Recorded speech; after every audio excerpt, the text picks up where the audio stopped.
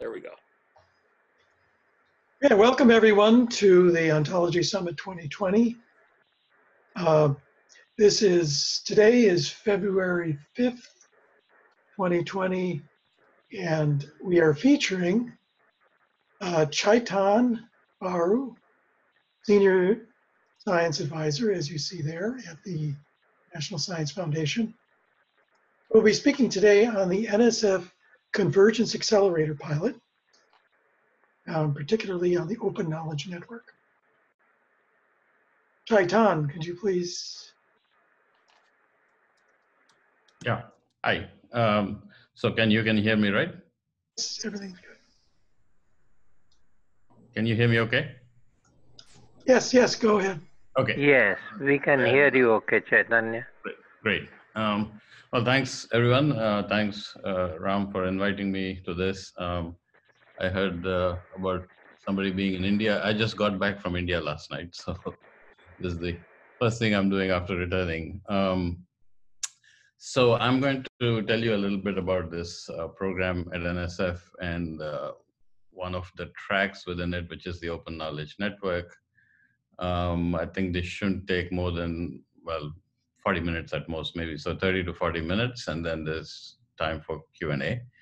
So let me just uh, launch into this. So what I'm going to talk about is this uh, new and I think very exciting program at NSF. It's, it's a small program, but it's a pilot uh, um, that we are trying out called the Convergence Accelerator. And I'll describe to you what the structure of it is, but there are tracks within that program, and one of the tracks that we are pursuing this year is the Open Knowledge Network. Uh, so let's go forward. So the outline will be to tell you a little bit about the program, to tell you a little bit about tracks within the program, uh, and then talk a little bit on one of those tracks, which we call track A, which is the Open Knowledge Network, and just say a little bit at a very high level about the types of projects. There are too many projects uh, to get into any of the details. Um, plus, of course, all the details are with the with the projects. Uh, we really can't say too much about them from our side. But uh, anyway, I can give you some sort of a summary of some of the high level issues and ideas that these projects are trying to address. And then we'll talk a little bit about next steps and, uh, as usual, the challenges for the future. Um, so all of this arises from a few couple of years ago. Uh, the NSF director, uh, France Cordova, uh, did an exercise within NSF to tr basically try and uh, you know, think about strategic directions for NSF for the next 5, 10, 15 year time frame, uh, and then came up with this notion of big ideas. Uh, there are six research themes or ideas, um, which are listed here at the top, and not uh, surprisingly, uh, data, data science, you know, harnessing the data turns, turned out to be one very ubiquitous idea around, but there are also others. Uh, there's one that's called uh, Future of Work at the Human Technology Frontier, which is really about what's happening uh, to the work, uh, the workplace, and the employment opportunities in the future, given all the automation going on. And then there's several other science-based uh, ideas, including quantum computing, uh, windows on the universe, navigating the new Arctic, and understanding rules of life. We also came up with a few process ideas. That is that we want to do things either a little differently uh, in order to face, uh, you know, tackle these challenges that we are facing, uh, or also identifying some gaps that NSF has traditionally had.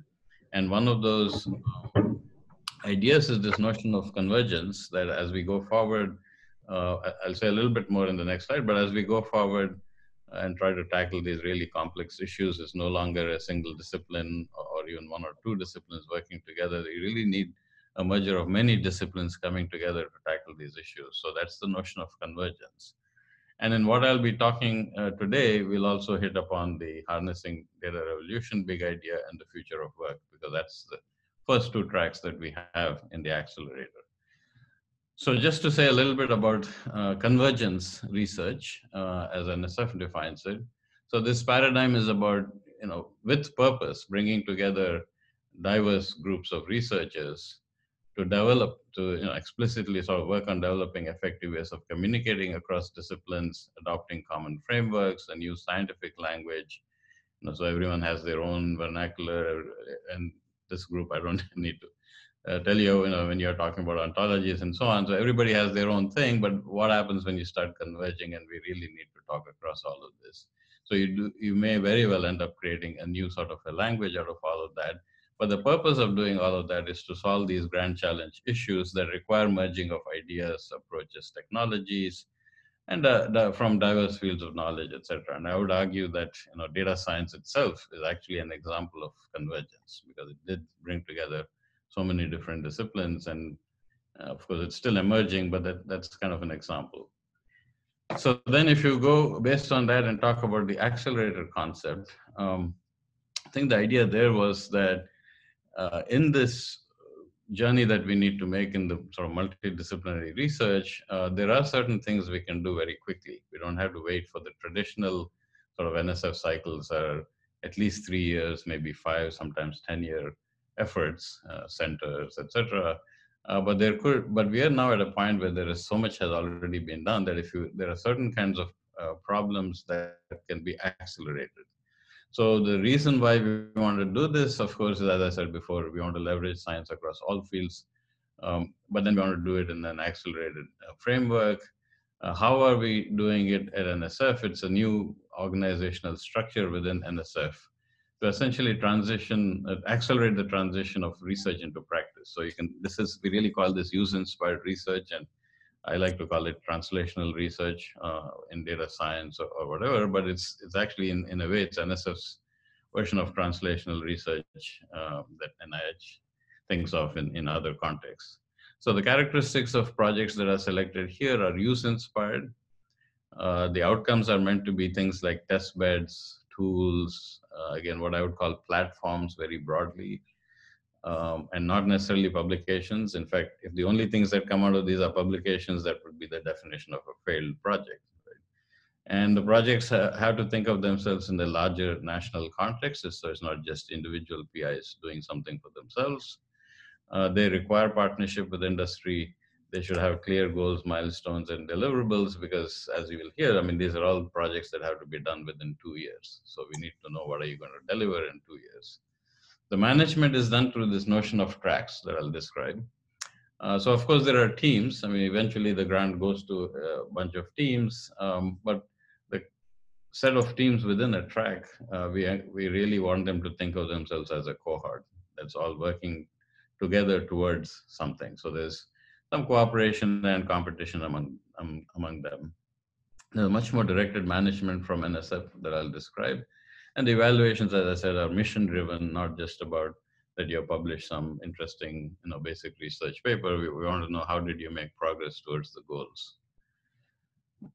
so the pilot, uh, so we are very, I have to say, uh, this started in 2019. Uh, we are very, we think of the 2019 year as a pilot year. Uh, we are, NSF is learning, this is, like we like to say within NSF, this is not your father's and mother's NSF, right? This program is very different. And we are we are learning how to do this ourselves and of course the community is learning what the heck is this thing that nsf has come up with. So it's a pilot uh, phase um, in, and we have it works by defining tracks. Um, i think it'll be two tracks each year. Certainly it's two tracks this year um, and the two tracks uh, the themes for those two tracks have come from harnessing data and future of work as i said and the open knowledge network is the uh, topic for harnessing data, and AI and future work broadly is the topic for uh, the other one. So uh, at this point, I'll say, I mean, this is something we are learning, and I think so I'm, I'm we have a very small team, so you know we are all individually trying to put all this together. But I think uh, so. Let me just say a little bit. Uh, it's almost in terms of reflection of how would we go about choosing tracks because we are actually in the process of doing this right now for the next year. Uh, so of course they should be on use inspired research, not about basic research things.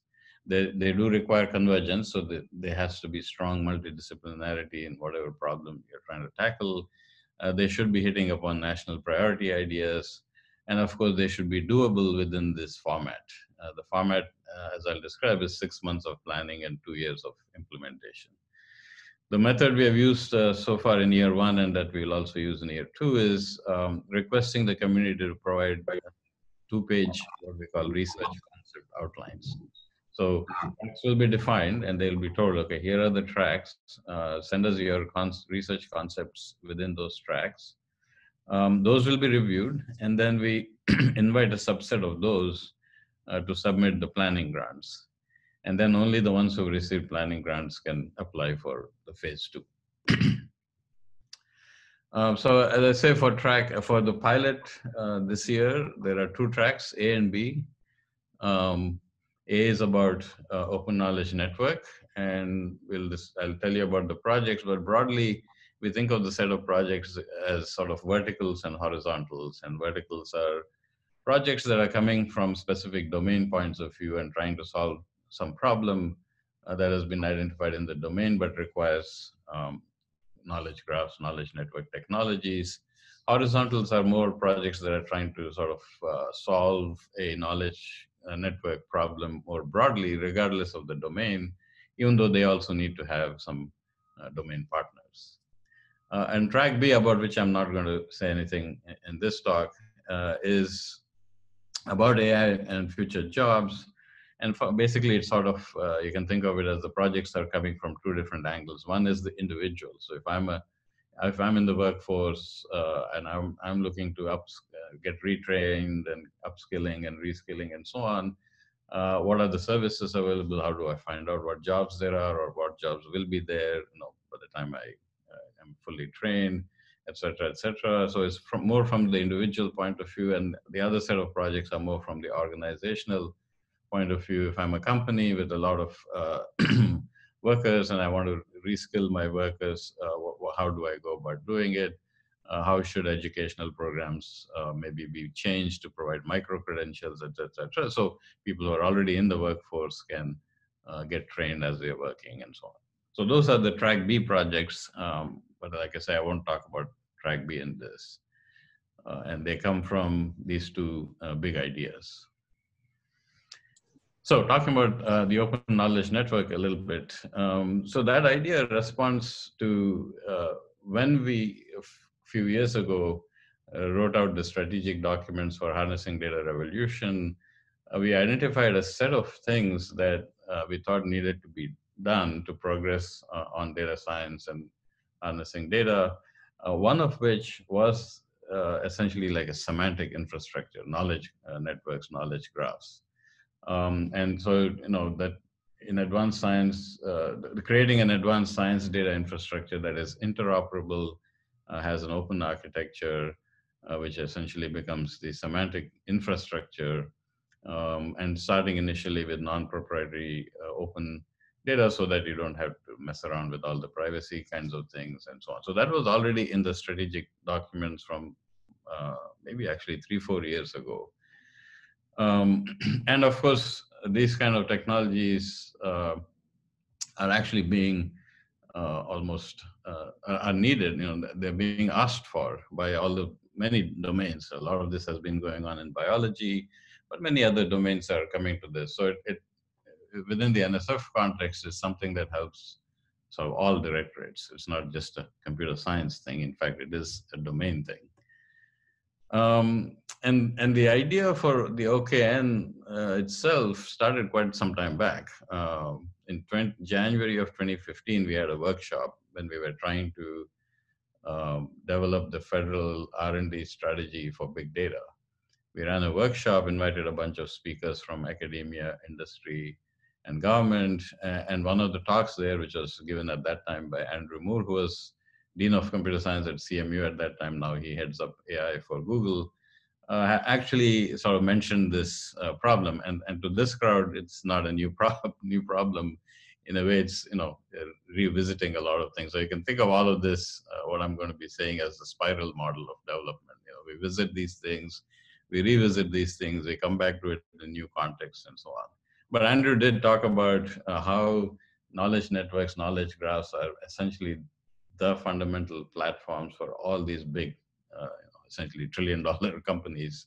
And that, those are the platforms that are launching all these new uh, so-called smart applications or AI or whatever. And that got us thinking, saying, okay, we should also be thinking about, and, and he was saying this is only happening in, in industry at this scale, and that they were not seeing enough things going on in academia. And that got us thinking a little bit. There were subsequent meetings. Uh, there was a small group we invited, sort of vice president level folks from Amazon, IBM, Microsoft, and Google. Uh, some academics, some government folks had a small meeting at the OSTP. This was even under the previous administration. Uh, at each of these meetings, basically, there's a lot of enthusiasm for academia. Uh, one should do this, even though industry is marching ahead. Industry tends to do this from a very short-term perspective. Uh, they're looking at you know their next quarter products and that kind of thing, and so academia has a role. Uh, we followed that up with a meeting in San Jose because in some way, many ways, that's ground zero for these technologies. And we had about 40 different companies, all the usual names you can think of, including you know, Wikipedia, Wikidata, all of those folks. There's lots of interest in the idea. And finally, it culminated with a, a interagency workshop, uh, which was held at NLM in October 2017. I think Ram uh, was there and a lot of other government folks were there. And there's actually a report for that uh, and some of the URLs uh, you can see. Um, so, you know, one of the things we talked uh, three, four years ago is, you know, that having these sort of so-called natural interfaces to large knowledge structures uh, is a very powerful capability. Of course, industry is already exploiting this, uh, and, and, I'm sure you all know this, that in this area now they're just hiring people left and right. Um, However, um, there are big areas of, of data, knowledge, information that industry won't be touching right away, uh, and many of that relate to science uh, data. Um, and it, it, clearly is a field that it's not just computer scientists alone, or nowadays you can say data scientists alone who could do it. You really have the knowledge comes from the domain, so you need the domain expertise. So it, it is really very much a convergence uh, kind of activity. Um, the only uh, the note to mention here, as I said, this is you can think of this as a spiral approach because it's not as if NSF has not spent a whole lot of money on these topics over the decades, literally, right? Over the last 20, 30 years, we have funded uh, basic research projects in problems of creation of knowledge bases, representation, performance, how to make things go faster, a lot of our own directorates have funded creation of ontologies, in fact, continue to do that. Lots of work on knowledge extraction, NLP, and so on and so forth. So in a way, we are building on, a, on top of all this, and that actually makes sense because you can't do an accelerator in an area where nothing has been done.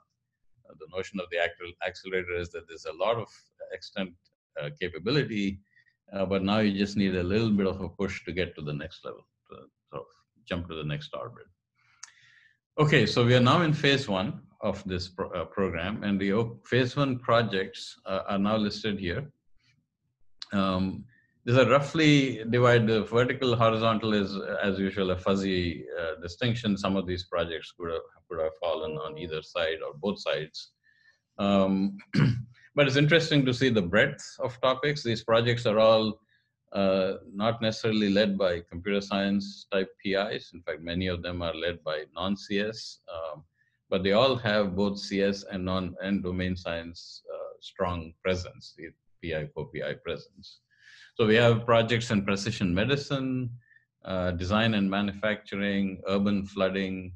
Uh, space sciences is, is really about sort of solar flares and the disturbances and their impact on uh, power grids molecular data is a very broad sort of look at molecular data from a variety of industries, uh, chemi chemical industry as well as other manufacturing. Census is about taking existing census uh, data that are already available and representing them in a graph structure that's much more efficient for fast processing. Court records is taking all of the court records that are currently not available, they're only in PDF form, and actually making a knowledge graph out of all of that. Uh, civil infrastructure is initially focusing on sort of bridge information across the nation. Uh, energy systems is the power grid data. Uh, intelligent textbooks is about, actually it is about creating ontologies for different domains so that you can actually have a platform that allows you to write intelligent textbooks um, for different domains. Public policy, uh, there's one for finance and business data. Uh, mobility is about transportation related data and looking at equity issues uh, within that context. And the ocean resources one is really about the impact of global climate change on fisheries and um, fishing uh, industry. Horizontals are things like um, programming environments for knowledge graphs. So if you already have knowledge graphs, what are easy ways to program around them and to query them and, and, and also to do extraction operations. So in a way to generate the workflows uh, that do the work and then make these workflows as shareable objects. Uh, there's one on about credibility. You know, how do you determine how, know, what are all the techniques you could use to uh, for credibility? There's one that broadly looks at spatial data. Uh, so regardless of the domain, so how how should we represent spatial information? Um, one on sort of fed, one is actually biomedical, but it's federated search, searching across um, uh, structured databases, uh, but also it, in, it is actually con connecting medical information with geospatial information. And in fact, uh, come to think of it, coronavirus is interesting because all of these uh, outbreaks uh, have uh, spatial con components. So their their use case is something called valley fever that used to happen only in Arizona. Now it's coming into Southern California because of climate change problems and, and so on. Uh, the one on web data extraction and integration. So how, if we have structured scientific databases on one side, but you have all this unstructured information on the web and you want to connect those. Uh, internet uh, is about capturing the internet structure uh, and extracting semantic information out of that so that maybe you can understand uh, some bad things that might be happening uh, with a higher level understanding of, of all of that and spatial decision support systems. So that's uh, no, really dump for you on all the kinds of projects. Uh, as I said before, uh, even though these are all individual projects, we require them to look for track integration. In fact, uh, a requirement as they go into phase two is that they all, each project needs to have an explicit plan about how they will work as a group with everyone else. They're required to collaborate with industry. Um, and we also encourage them to look at what else is going on in the community and leverage as much as possible. Once again, this is not about inventing things from zero. There's a ton of, I mean, going back to this idea of, you know, choosing tracks is, is a skill that we still have to develop at NSF fully. But, you know, tracks are, should be selected so that there's already some stuff going on. That means projects have to leverage the stuff that's going on. And we we look for that. And we also help the projects uh, you know lead them to places where they, they may be able to leverage other things. So i looked across all the projects. I mean without going into uh, details of uh, project level information some of the themes are many of the projects are looking at heterogeneous uh, data and you can imagine from the list i gave you before you know, what that could be uh, for example one uh, the biomedical folks um, think of the data in the whole discipline, and they, they're trying to do precision medicine, and they think of the data as their biomedical facts. Um, so these are things that might be published in papers uh, and have you know, established certain relationships. This causes that, etc. So those are the facts. Uh, of course, in biomedicine, there's tons of uh, big, well-established databases. So there are catalogs of actual data. And now there's also what they call raw data, which is you know stuff that's coming from wearables and all of that. So you know, lots of medical information that's now being generated uh, out there in the wild. So their problem is how do we integrate all of this, and and they want to make uh, more of a graph uh, form out of that. Another one is looking at internet, uh, both the configuration data, so domain name systems and traffic data, BGP routing protocols, all sorts of things. And these are all people who are expert at internet analysis. In fact, this group is actually international, though we only fund the US part. Um, and they all they want to, and everybody's been there are little groups all over uh, US and in the world looking at bits and pieces of this, and they want to say, can we get to the next level? Can we integrate? And then look at uh, patterns, etc., at a at a higher uh, conceptual level of what's going on in the internet. Other another theme here is uh, we actually we do tell these projects that we expect whatever they build to be an open system.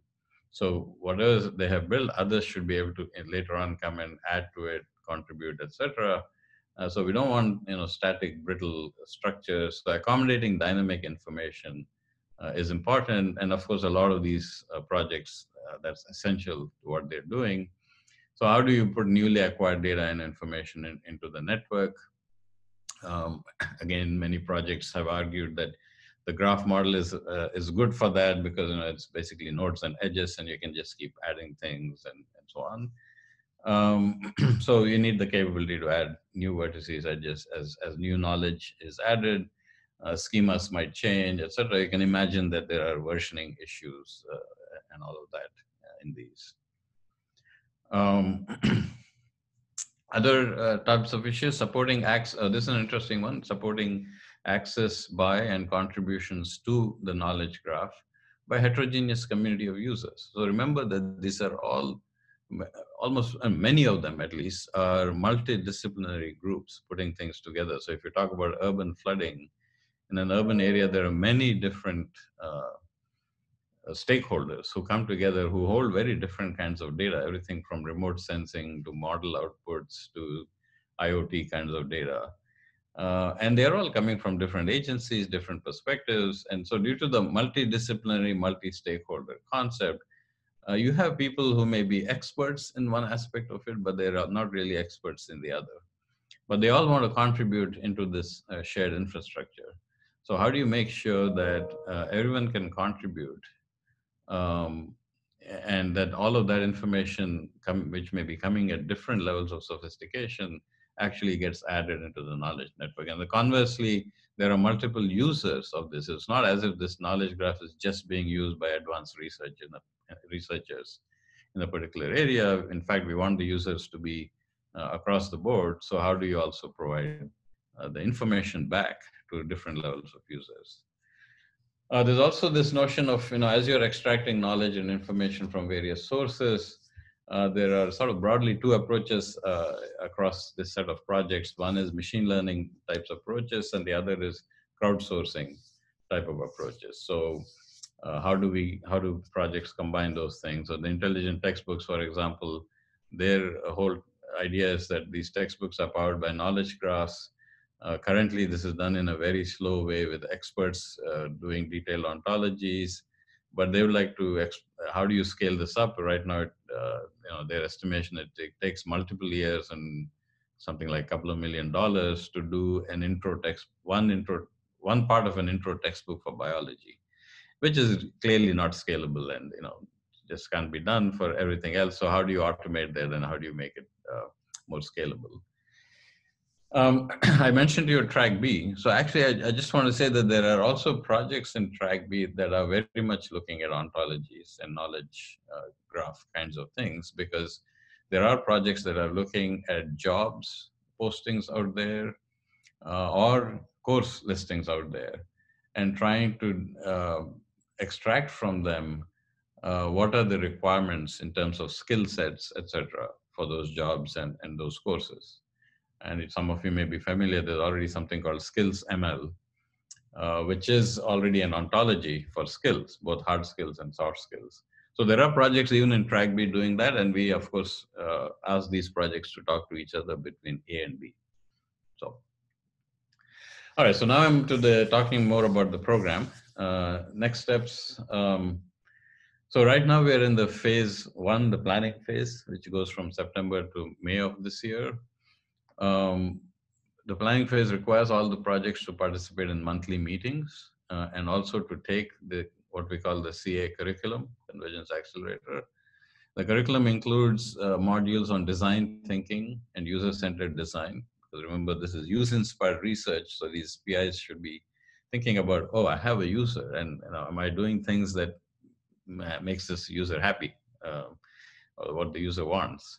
They also get modules in team science because these are teams coming together and they have to learn how to operate in multidisciplinary groups. Uh, sometimes, and already some teams have done this, teams may have to uh, jettison. I mean, you know, they may not need all the people they thought they needed, so they to get rid of some folks. So already we have received lots of irate phone calls at NSF from co-PIs who might have been told, okay, we don't need you in phase two.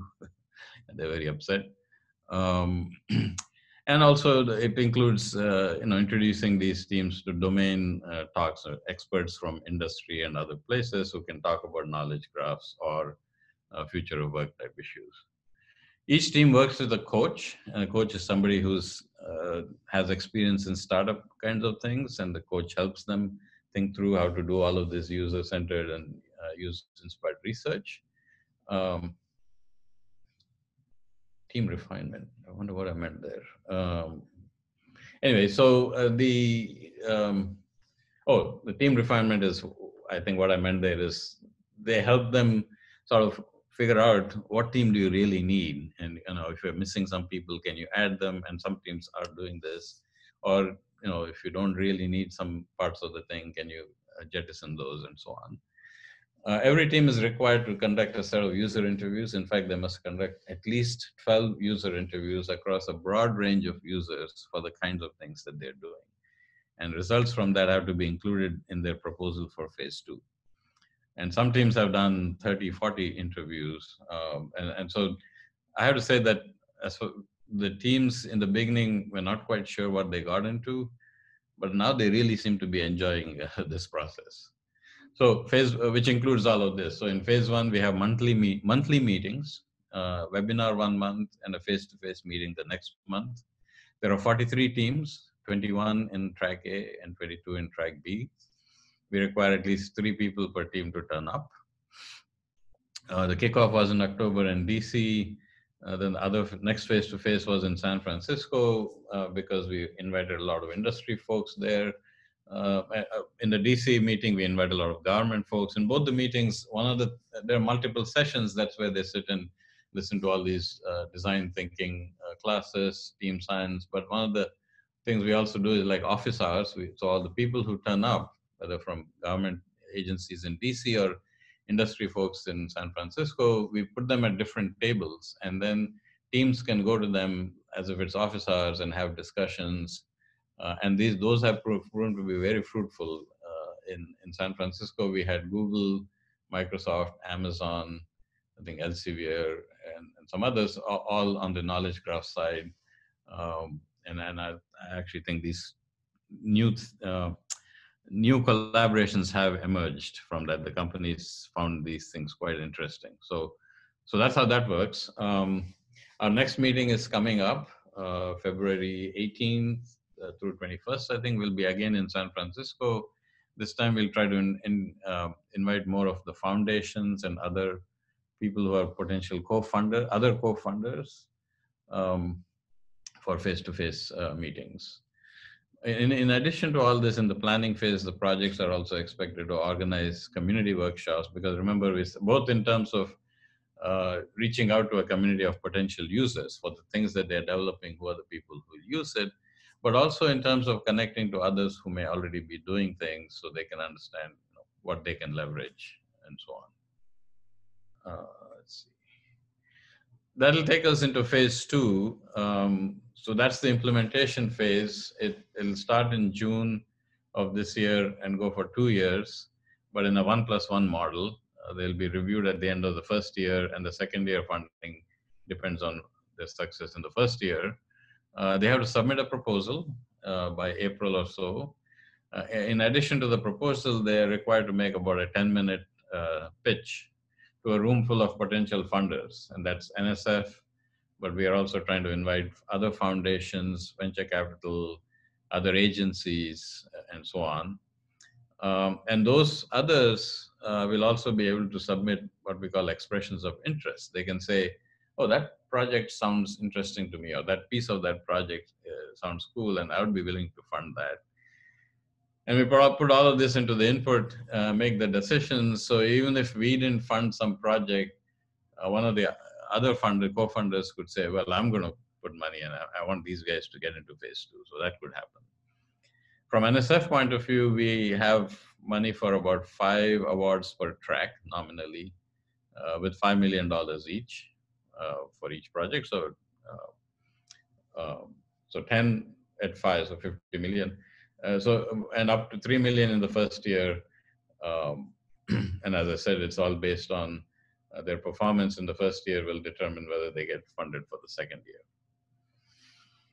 So I think that's it. Uh, I think I sort of gave you a dump of what the OKN looks like and what the program is. And I'll, I'll just say a little bit about the next steps that we are thinking. Uh, the OKN projects themselves, uh, we are strongly encouraging them to link with, uh, become aware of, and link with other relevant efforts. Um, we are also trying to help them think through Uh, so remember that they get funded for two years, they have to deliver something, then what happens to sustainability after that? So there are many programs coming along. NSF has just announced AI institutes, which if they start this year will go for five years. So if a knowledge graph, knowledge network project uh, affiliates or associates itself with an AI institute, that would give them some more longevity. Uh, but there are big efforts. So I have a meeting coming up with NIH. Um, I, um, and, and of course DOE uh, is part of the big data interagency and, and AI group, but, but NIH has a big data science strategy. DO, DOE of course has the AI technology office, uh, NIST, Ram is here and there are others at NIST who are doing a lot of stuff uh, related to all of this and AI. So, you know, there may be other ways. So this is where we are trying to help them think about what the future might uh, look like. Um, like I mentioned, as we are doing all of that, we are also thinking about the new tracks for the next year. Um, I should have said 2020. It's 2020 and 2021. We are also thinking about what how to get the community to start thinking for 2021 year. But for 2020, uh, to start thinking for 2020, we, we funded them to run a bunch of workshops. Um, and a variety of workshops were run on different topics, as I mentioned here. But uh, some of the ones that may be interesting to this group are AI and disasters, which um, which of course is related a lot to you know, knowledge networks and so on, data privacy and data governance and so on. So uh, based on all of that, and we also have a thought that maybe we should also look at uh, within the current tracks A and B, um, if there are specific things that we felt like we are miss, missing something or there's a gap, maybe we could also do some gap filling. Uh, so this is all actively being uh, thought about right now. Um, and, and the same thing about you know what what should be the strategic direction direction for the CA program.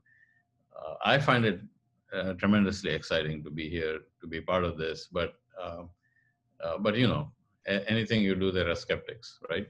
so there are others wondering, oh, what's all this about? So we'll see. So we, we have to think about what the future strategy uh, ought to be for a program like this. I think that's my last slide. So I'm open to questions now.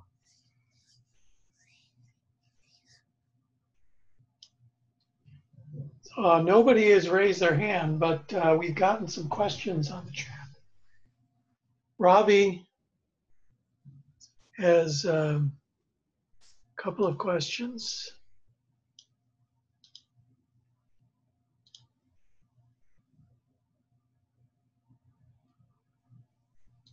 Ravi, I can't unmute you. Now, I, I have unmuted now. I'm sorry. Chaitanya, can you hear me? Yes, I can hear you. Okay, my question number one is how do you um, and it's a question i'm sure many have how do you go from okn to kg knowledge graphs what is similar concept in both these terms and uh, how did you choose heterogeneous communities on a common definition of knowledge graph right you uh, say that in your slides. Yeah. So it's a good question because when we were looking at these uh, projects, um, they do come from many different domains. So as you can imagine, not uh, there is a highly developed. I would say there's a highly developed community of in the computer science area that deals with ontologies and graphs and so on. Uh, that has been polishing this for a long time but there are a lot of people out in the domain with sitting with real data who, who have not been part of that community. So uh, they a lot of projects proposals did not come in with very well defined views of what what they want to do. Is it you know, owl ontologies or this, that, and the other? They just said, hey, we have this problem, and and of course they were able to. They had enough of uh, a team that they could articulate why they thought uh, broadly a knowledge network, but a knowledge uh, graph structure is needed. But that's a good question because there was some issue of what is a knowledge network. So I think we ended up saying, you know, is not is knowledge network just a network of experts talking to each other? Yes, could be that. Is knowledge network just uh, a bunch of databases that are actually that, that is knowledge network a knowledge graph okay that actually you're extracting entities uh, defining relationships and creating that structure. Is that what you're funding? And the answer is yes. And the third one was the knowledge network technology because actually we did get some projects uh, that came in saying we are going to build a data lake and do this or we're going to build a scalable cloud infrastructure and, and the answer is yes, right? So knowledge network is all of these things. And you could think of knowledge graph as that way. Um, also, there was some discussion about, you know, wow, should we have called this knowledge graph? And then we realized no, because knowledge graph is only something that computer scientists understand. The moment you say something like knowledge graph, it actually is a very technical term that you puts off a lot of domain people because they don't uh, they don't understand what the heck you're saying. So knowledge network sounds sufficiently fuzzy, and sometimes there are value. There's a big value to having fuzzy terms like convergence accelerator. Nobody understands what the hell that is, but then that means you get the opportunity to tell people what it is. Uh, and the knowledge network was like that. Um, there was also a question. In fact, we have at least one uh, in our cohort of projects that said, "Oh, we must all sign up to this one way of doing things. Uh, oh, you all, you all have, you know, you're all grown-up folks. You, you can see how successful or unsuccessful something like that is going to be. Um, so we said, okay, this some of this has to be emergent, and that's actually going to be the challenge of phase two, and that's why in phase two each project is explicitly required to set aside a piece of the budget to come up with exactly what you said. Because um, we did have, uh, can I say this? I, I, guess I can. We did have certain projects, we did have uh, project ideas that came in that said, okay, we're going to organize the whole world. Now we're going to create huge standards committees and this and that, and, and we're going to just, and we said, no, that's, it's too, for this program, that's not what we're looking and it's too early. In this program, we are going to let it be a little bit emergent, but not completely, right? I mean, it, it's not as if they should ab initio create something. They should be aware of what else is going on. Uh, in fact, RDF, uh, many of these people are using RDF. We had Guha. Guha is one, uh, for some people who might know, uh, Ramanathan Guha is at Google. He was at all of our OKN meetings that I talked about. He's actually a co-PI on one of these projects, and he's leading something at Google called datacommons.org, which is completely using BigQuery and uh, scalable in the cloud and uh, using RDF uh, and schema.org extensions. That it's a complete solution. And in fact, that was the thing. Here, I've done it. Take it. NSF should, NSF should ask everyone to do this. So no, that's one way, and you should definitely be part of the community. And many of our projects, by the way, are talking to him and others at Google. Uh, but that part of it, I think, needs to be a little bit uh, emergent. So we'll have to see what uh, comes out of that. Uh, just a last question from me was uh, metrics. How do you set up metrics for such a mammoth, uh, wide-ranging set of subjects, domains, technologies, and directions for future? How do you measure yourself for let's say first year, second year, third year of this program? Yep, that's a great question. And actually, if any of you have good ideas, let us know because we're trying to. Figure yes, yeah, of course, it's difficult. We're trying to figure out what should be the metric. Um, because fundamentally, in the old days, I would say NSF had no metrics, right? You just fund you and you're gone. Uh-huh. NSF introduced this notion of uh, you have to write a section that talks about results of prior work. So that's a metric because I can say, okay, I gave you money in the past. What did you do with it? Okay. Uh, now we have this program, um, and certainly we have to evaluate them in phase one. I mean, they're gonna, all going to write a proposal, and we have to. Uh, I mean, there are certain things we said, like you know, mechanic. There are some, like we said, you have to have 12 interviews. okay, we can see, did you have your 12 interviews and what did you glean from it? So you can tell something about how well, how good of a job did these people do. And, and I have to say, we can already, you know, one can already see certain projects are humming along and seem to be doing the right, you know, seems like they're doing things the way you might think, and others are still wondering, what did we get into, and so on. Um, but then comes phase two, right? What is the metric of phase two? Um, and I have to say that no, we're trying to figure this out.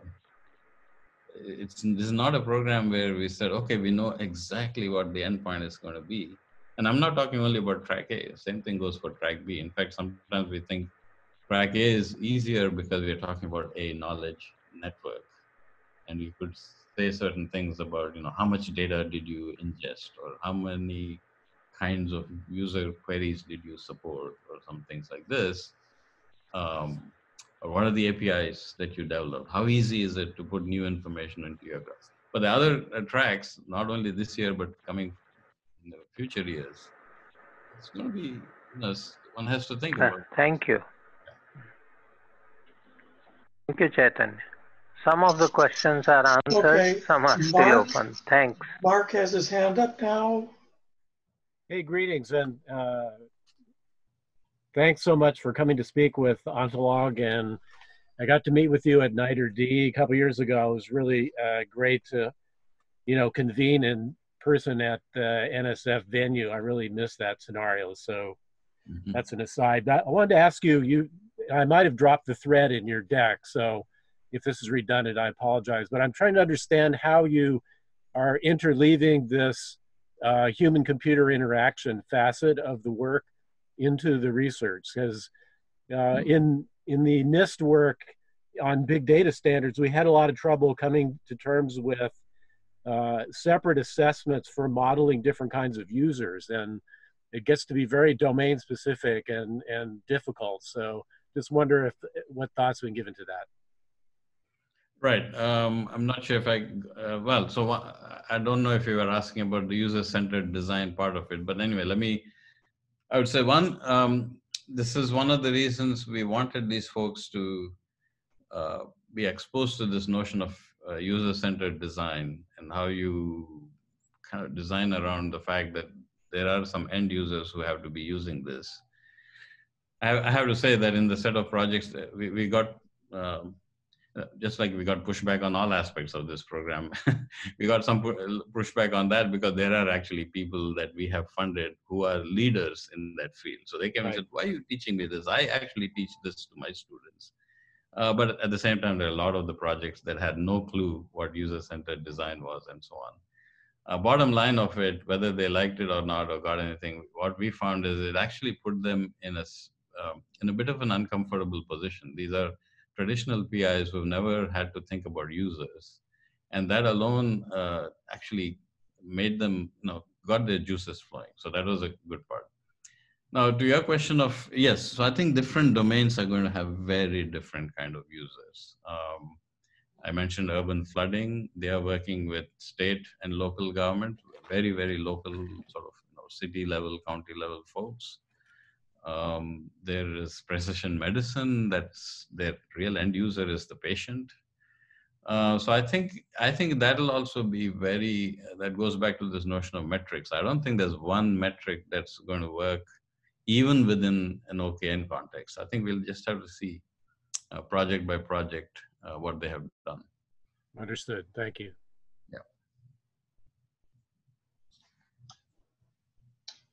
See, Mike Bennett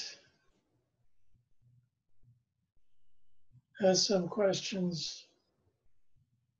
Hi, Ken. Sorry, I didn't put my hand up. I was just uh, uh, spooling out a couple of thoughts onto the chat. Um, really, two related questions. Um, and as a non-US citizen, I should add. Um, the first thing is uh, you mentioned finance, uh, string number A7153, whatever the word for it is.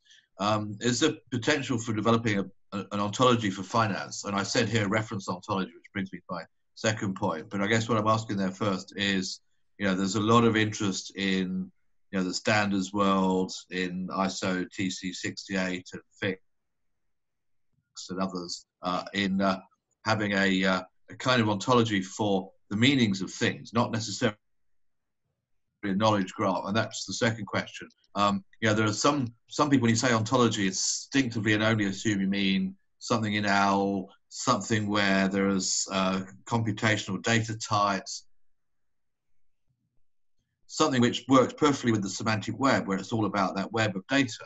Other people, when you say ontology, talk about truth makers and uh, basically the ontological representation of, of real things or concepts of real things. And there's there's different stuff within that big box of uh, you know, realist versus conceptualist. But those kinds of ontologies are often better used for reference, for artificial intelligence, for business understanding of things like, you know, is a smart contract a contract and things like that. Now, not everybody gets that those are two different kinds of ontologies. So my second question is whether the folks you're working with have uh, actually made any commitments in that distinction or are thinking particularly one thing or the other. And that, of course, colors the answer to my first question about developing kinds of finance ontology, because the Object Management Group's already developed a computational uh, semantic web style of ontology yeah. FIBO for finance, but that's not necessarily, that's not what I'm talking about and asking about, which is what the standards bunch are now looking at, which is actual reference ontology. So, long question, hope it made sense. No, it did. I mean, so basically the question says, you know, there's lots of complexity and is the, yep. the, uh, the, uh, the scope is pretty wide. And so these projects uh, at one level have to figure out uh, what can they get done in two years. So for example, the finance, they, they actually call themselves the business open knowledge network, I think, even though we put oh. it as ah. finance. So it's, it's actually, and they have people like the US Patent Office, uh, uh, federal. Mm. So, so when you said finance and commerce or finance and stuff, it's, it's yeah, it's about more about business data. But, but your point is yeah, but but your point is well taken, and that's in that and actually the the group that's doing it is pretty knowledgeable in all of this. And, yeah, because in fact, so, sorry to cut in, but um, I've been working. You know, I worked on the original conceptual um, pre forerunner to that FIBO thing, but subsequent to that, I've, I've been figuring that it's possible to come up with a good single coherent reference ontology across business and finance and insurance and commerce and all that kind of non-physics, non-biology kind of stuff. All the potentials there. There's a lot of research like REA and other things that feed into that. Um, I, I just haven't seen a, a good venue yeah. to make it happen. I'm wondering if this is it. Well, I don't know because these are remember two-year efforts. But uh, the last face-to-face meeting, I got a lot of questions from the team saying, uh, you know, basically, uh, in a way, asking your kind of question, saying, "What what hmm. should we do? You know, what what is how do we get successful?" Oh. And my answer to all of these teams is, your best friend is your use case. What what is the use case? Do you actually have a user for for something that you want to do? Uh, and actually, I think that helped them think that way. So I think whenever this comes up, I, are you ask like you asked, you know, are you trying to solve a business question, or are you just trying to take all the data that you have and put it into this kind of ontology? Uh, if so, why? Uh, whatever it is that you want to do, you want to be able to show that there is a user who wants this. Right. You've got to be a bit careful with use case. It can. You're absolutely right. Everything has to have a business reason to exist and be funded but uh, use cases can end up being very narrow and end up driving what are essentially applications. Well, yes, use so case rather and that's than where a the, reference language. Hmm. Correct, correct, and that's where the trick is going to be, and and that's where hopefully they're meeting with the coaches, they're talking with the user-centered design folks, and you know they're all pretty senior researchers themselves. Will uh, allow them to sort of come up with problems that look um, that, that, at least the solutions behind it i mean you know what they're providing as an answer to a specific question may look like a very simple thing but then they say but look here's all the things we had to do to get there and we have actually enabled all this data or we have created this massive knowledge graph or, or whatever mm-hmm. so uh, I think they still need to be driven by what's that end goal. Are there some clear clear yeah. end goals that you can mm-hmm. show in two years? Uh, and then what is the path and like exactly like you said if, if somebody did some very simple application development in two years and five million dollars that's not going to be success that's right you need to elevate it beyond an yeah. application somewhere there's a need for yeah. a common language. The other way, the other thing I should also uh, say, which is also a difficulty for us right now, we're trying to uh, figure out in the NSF context in the US at least, uh, most of our researchers are used to uh, spending a maximum of two months uh, because that's actually a restriction that NSF puts that you can't put more than two months of your salary on a project. In these projects, we want people to put six months. Okay, right. so we want, in fact, we are asking department chairs and deans to provide what is here is called course release, that people can buy out their courses because we need substantial amounts of time of the principal people in the project. You know, we, we've received projects where people said, oh, I'm going to spend 5% of my time and I'm going to have 10 grad students doing something. And that's the wrong answer. We, we, we need substantial teams working together, and that's where the startup kind of mentality comes up. Uh, and doing it for two years. And you got you have if you have a good team and good set of goals, you got to be able to achieve something in, in two years for that amount of effort. Mm. Okay, great. Um, David and Todd are both asking questions. Todd has his hand up. How do I put my How do I put my hand up? Uh, David, yes, you had a question. Um, is there any consideration for my favorite windmill, unnatural language? What is that? It's the opposite side of natural language. Uh, you have to give me an example. Software. Uh, yeah, keep Software going. is not written for human consumption. It does not obey the rules of human language. Right, right. Okay. So you're talking about. So I will take your answer as no, there's no. No. Yes. no. Thank you. That's all I needed. Okay. Over to you, Todd. Okie doke. Um, I have just a short question. Is the NSF um, coordinating or working with uh, any organizations from the EU? They have question. And the answer is yes. I've just been exchanging this email this morning with a bunch of EU folks. The way that's happening, at least, uh, and if any of you know of other things, do let us know. But the way, the way it's happening right now is the E.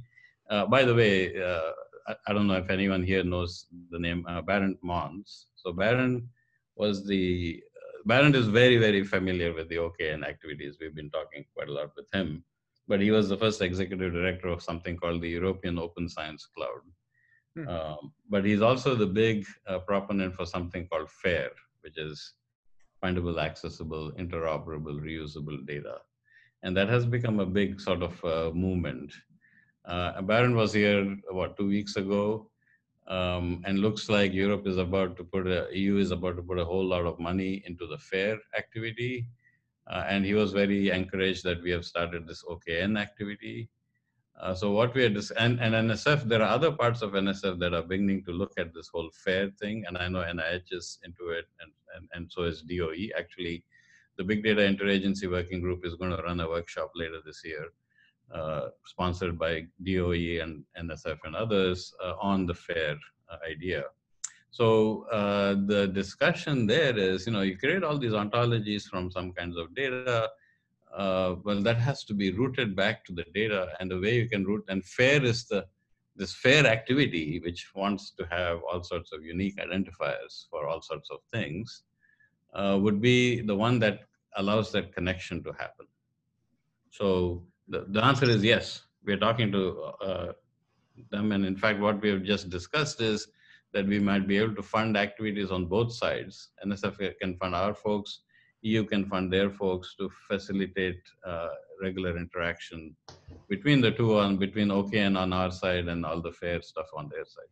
Are uh, I, I don't know about the legality of of NSF. Are you allowed to coordinate in some coherent fashion with the EU specifically EU government organizations or agencies so that you're sort of not duplicating work or could work off of the results of each other? Oh, sure. I mean, well, you know, if, if the science is open, we're all for open science. Of open results, we can uh, we can leverage obviously. NSF does do things like joint programs. So we have uh, proposals that are jointly funded with. I can think of examples with Israel, with Finland, with Japan, and so on But the way it works is we fund our side, they fund their side. Right. But the program is a joint program. So absolutely, yeah. Oh, cool. Uh, one last request, if you could, could you repeat what that acronym FAIR stood stands for? Yes, FAIR. Um, I think nowadays, if you just Google FAIR, it must be the top hit because there's a lot of discussion on it. But FAIR stands for Findable, Accessible, Interoperable, Reusable Data. So FAIR data. Got it. Thank you. Yeah.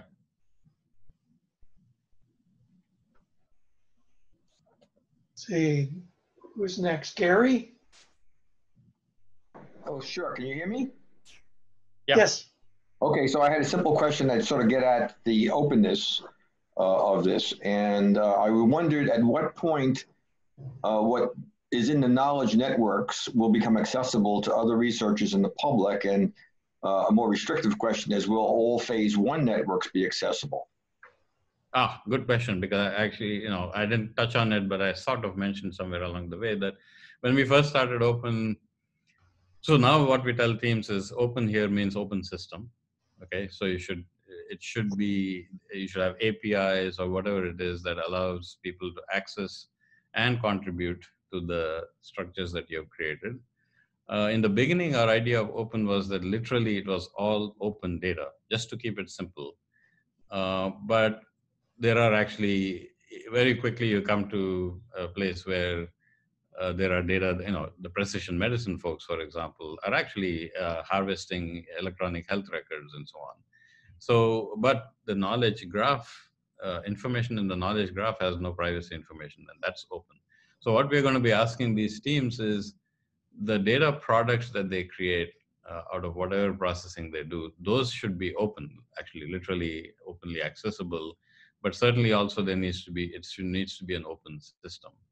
Um, we are, but having said that, uh, not just the precision medicine, even the internet group, uh, most of the data that internet guys deal with is actually proprietary data.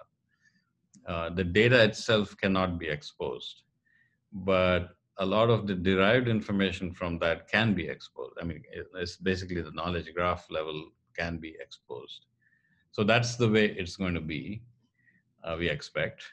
And, and, even in the original OKN discussions, there was already, you know, right from the beginning, there was a discussion that, um, and I remember IBM people brought it up because that's what they faced when they were doing Watson initially. There's a lot of data that IBM was acquiring uh, had all sorts of different license requirements, and they had to maintain complete provenance of where the data was being used because the people who provided them data said, "Hey, here's how you're going to, you know, give me, pay me back or whatever, give me credit." And in the scientific area, credit is going to be extremely essential. So we have to keep track. So, so the data may not uh, move, but at least we have to keep provenance that well, we got this from that source and so on. So yeah, all of those complications are going to be there. Thank you. Great. Um, we're kind of running out of time, but uh, we have uh, Janet Wong. Uh, maybe a quick question.